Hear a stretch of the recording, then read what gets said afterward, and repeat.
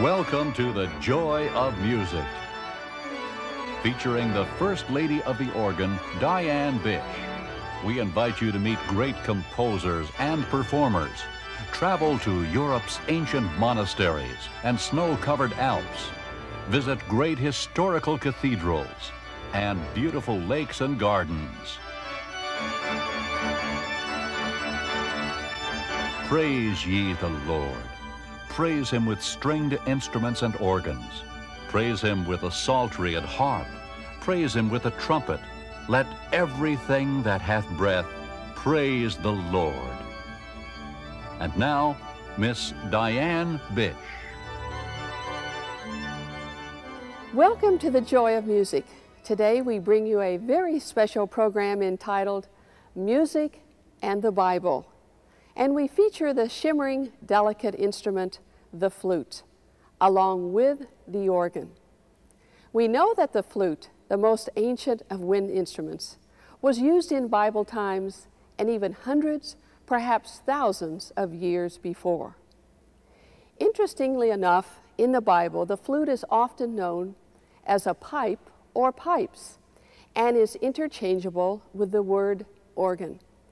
In Psalm 150, we read, Praise the Lord with stringed instruments, praise Him with the organ, or praise Him with the flute. Today, most of us know the flute to be a long metal tube in solo or orchestral use. But the most ancient of flutes is the pan flute, known for its legato, soul searching, haunting melodies.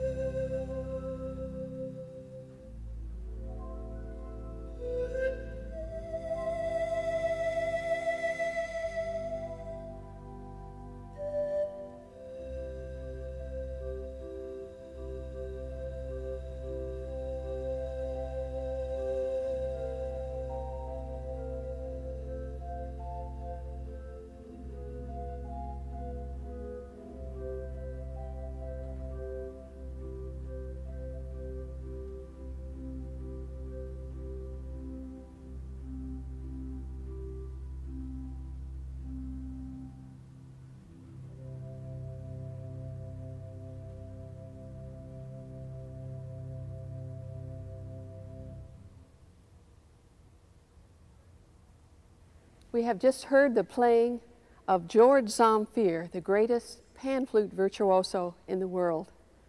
Zamfir often tells the story that the first pan flute was played not by a person, but by the wind itself as the gentle breezes blew across the reeds of the field.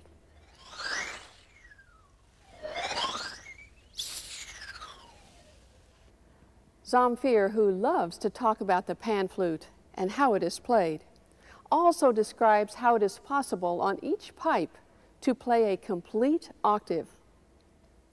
I have here four different flutes with three octaves, two and a half octaves, like a bow. This one, the little one, the traditional one. And the sharp and flat is and in the sharp and flat, I I make with the I when I change the position of the lips. Uh, F sharp. F so it is. You change the position, that's all I you do. change the position like Yes. with the lips and with the hand, but very, very discreetly. No? And I can go, yeah, yes. lower and lower and, And lower. until Yes. one octave. That's ah. Amazing because uh, on each tube I have almost an octave and more than an octave. For instance, I'm in C major now. I change G major. I make, I transform the F flat, uh, F sharp in F natural, and I have C, C uh, major.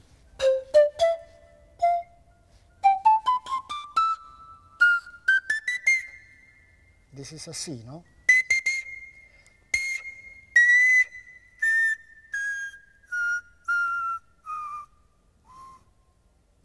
And You the- know, it looks so simple, it, but it must be very difficult. absolutely.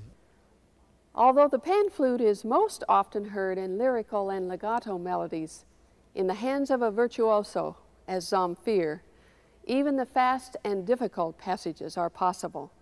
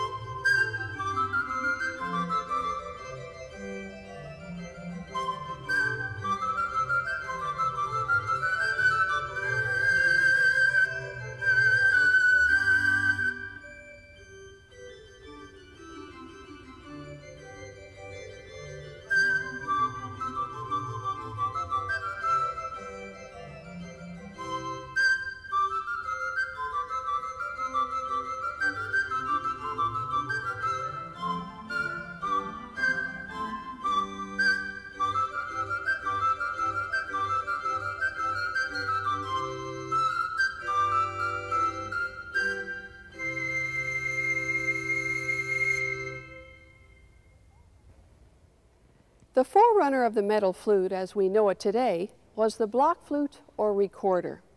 The recorder was used from the Middle Ages until the 18th century and has been revived in modern times.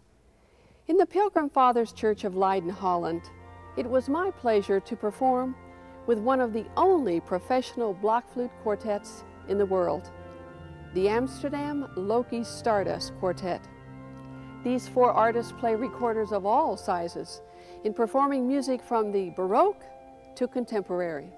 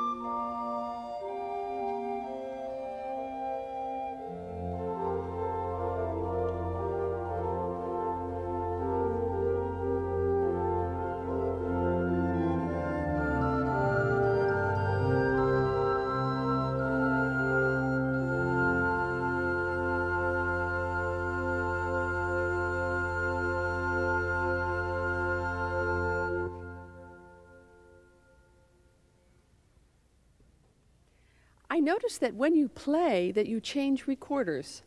And how many recorders do you have totally in, in all? Well, we have a lot.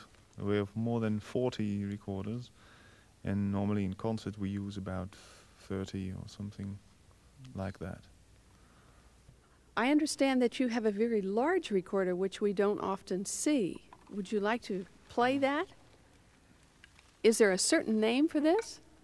Well, well, this is normally called a great bass, and you have even a larger one that's a double bass, and that means that it's double the size of a, a small bass recorder. And this is the the big bass recorder, and it's a bass in C, so it's double the size of a tenor. Would you play a scale for us?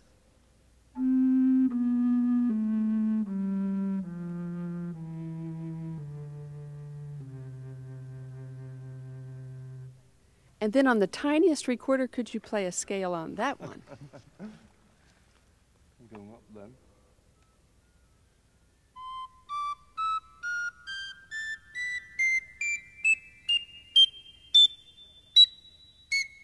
Isn't that?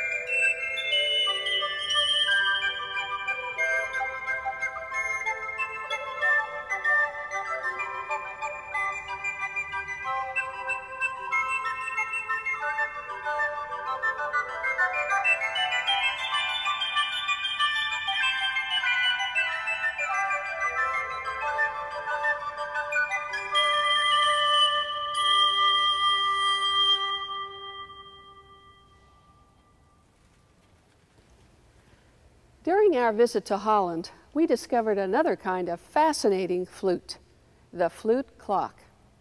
In the National Music Box Museum of Utrecht, Holland, we spoke with Dr. Haspels, museum director, who explained to us how these tiny clocks, or flutes, actually work. This is the inside of a clock. Um, We would not see these inner workings. no, normally you wouldn't. What it does, there is of course a source power there, the weight, which I can wind. The weight takes care of the air for the pipes to be pumped. You see, if I move the feeder bellows, the storage bellows, like in an organ, will fill up with wind.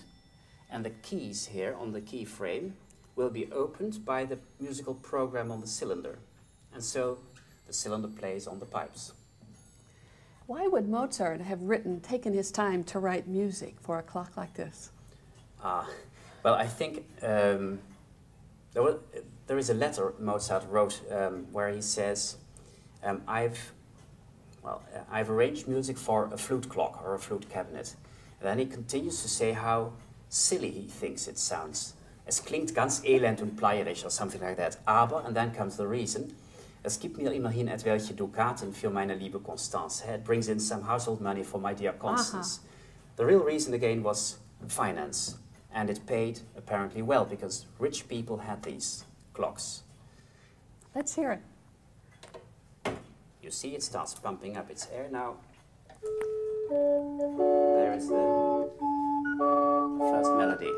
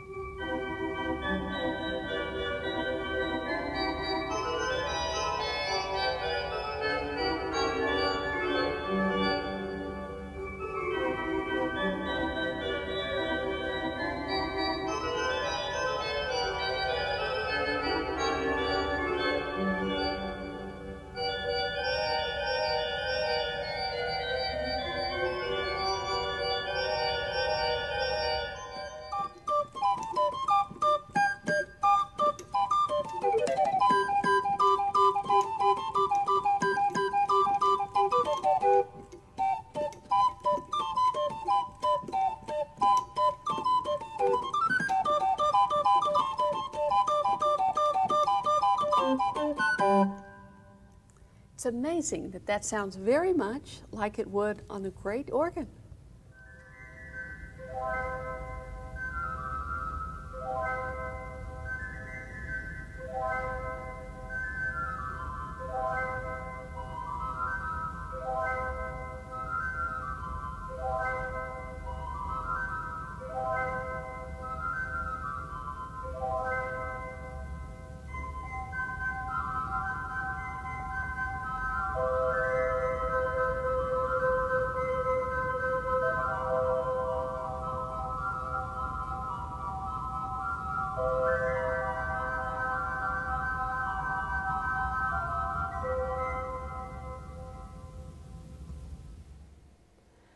Of course, when one combines many pipes, hundreds, even thousands, as are found in an organ, there comes forth the most mighty and majestic of sounds.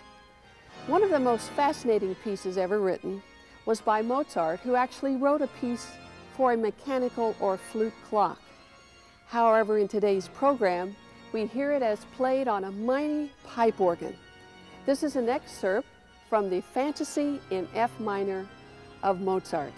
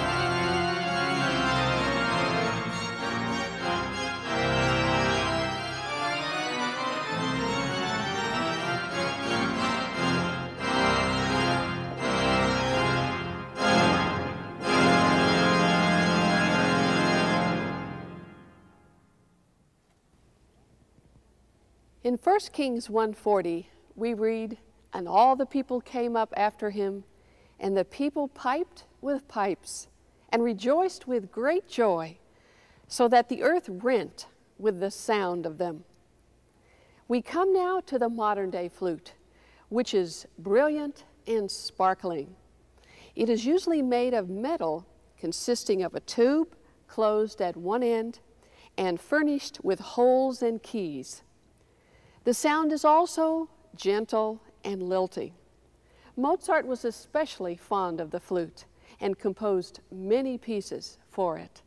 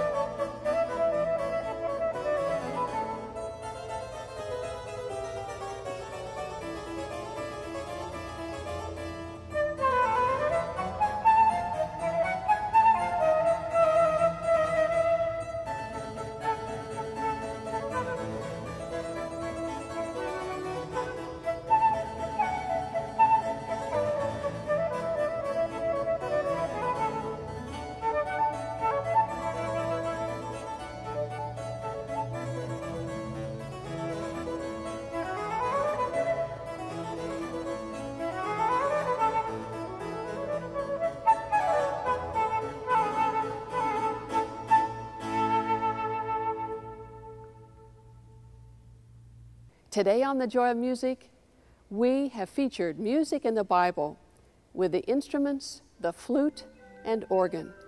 We pray that you have been blessed and enriched by the music today. And we look forward to seeing you again next week on The Joy of Music.